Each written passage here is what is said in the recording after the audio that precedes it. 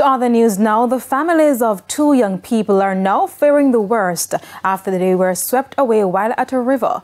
The incident happened in the Wagwater River in St. Mary. Now, despite the, the search efforts of relatives, emergency response teams, and concerned residents, the two cannot be located. Amoy Harriot has the details. Yeah, Alison Spratt is at a loss for words. When her 19-year-old daughter, Kristen Steele, waved goodbye to relatives Thursday on her way to a river, nothing could have prepared them for the tragedy that would occur hours later. Kristen and a group of friends went for a swim in the Wagwater River in Castleton, St. Mary. TVJ News understands that sometime after 3 o'clock, just before getting out of the water to head back home, the river came down, washing Kristen off a rock. A 25 year old man was in the process of rescuing her when he too was washed away by the heavy current. A search party was launched for the two Thursday evening but was later called off due to visibility issues. Kristen's family went back to the area early Friday to resume the search, which again had to be called off, this time because of the rain. The search for her was very, very hectic. Uh, if you can look at my feet, all my shoes gone. Went through hills and valleys.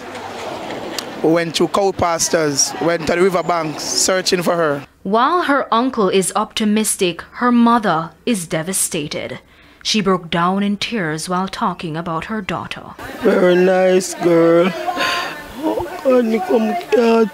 I'm tired. I'm tired. I want to sleep. I just want to lay down now. I see them not lay down, I'm gonna eat. I just want to bathe and go sleep. I can't manage them.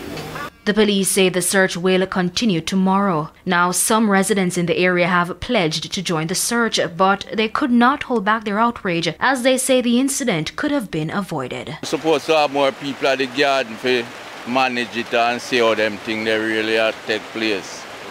The rain or fall, you're supposed to have much work up there and nobody to call out and tell the people them.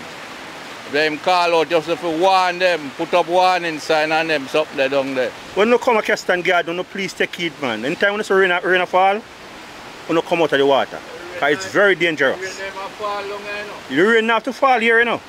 If the rain fall up, up Stone Hill, it go, it go and come down. This incident comes just days after a man and a woman were washed away in a gully in Waltham Park, St. Andrew. The woman was rescued, but the body of the 18-year-old man was found the following day. Amoy Harriet, TVJ News.